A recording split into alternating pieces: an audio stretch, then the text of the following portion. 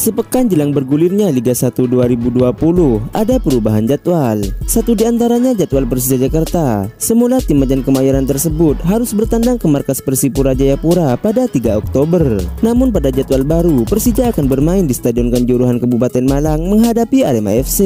Perubahan jadwal tersebut dikarenakan beberapa klub mengubah home base mereka, yakni Bayangkara FC, Persipura Jayapura, dan Madura United. Sementara Persebaya Surabaya hingga kini belum menentukan home base-nya. Itu sebabnya PT Liga Indonesia baru harus menyesuaikan jadwal, terutama bagi Bayangkara FC yang kini satu markas dengan Persita Tangerang di Kelapa 2 Sport Center Tangerang dan Persipura Jayapura satu kandang dengan Arema FC di Stadion Kanjuruhan Kabupaten Malang. Perubahan jadwal ini baru diketahui Arema FC pada Sabtu 26 September 2020 siang, sehingga tim pelatih dan pemain harus melakukan penyesuaian, terutama terutama dalam hal menganalisis calon lawan. Kami baru menerima surat resmi tentang penyesuaian jadwal itu siang tadi. Demikian kata media officer Arema FC Sudarmaji. Maji.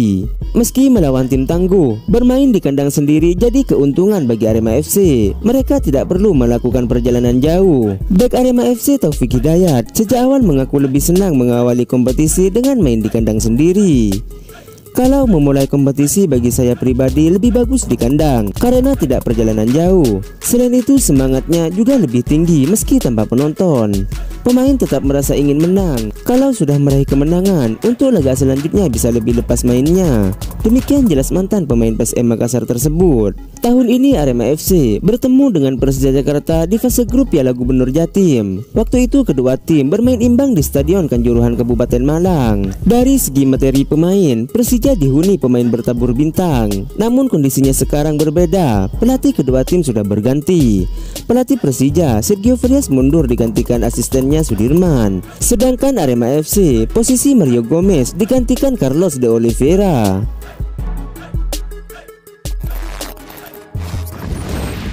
Komposisi pemain Persija Jakarta semakin lengkap sebelum berlaga di kompetisi sepak bola Liga 1 2020. Pada sesi latihan yang berlangsung di lapangan NYTC Sawangan Depok pada Sabtu 26 September 2020, skuad Macan Kemayoran kedatangan tambahan amunisi pemain asing baru. Pemain asing yang paling lama memperkuat Persija Jakarta, yakni Rohichan, akhirnya bergabung mengikuti latihan bersama rekan-rekan setimnya.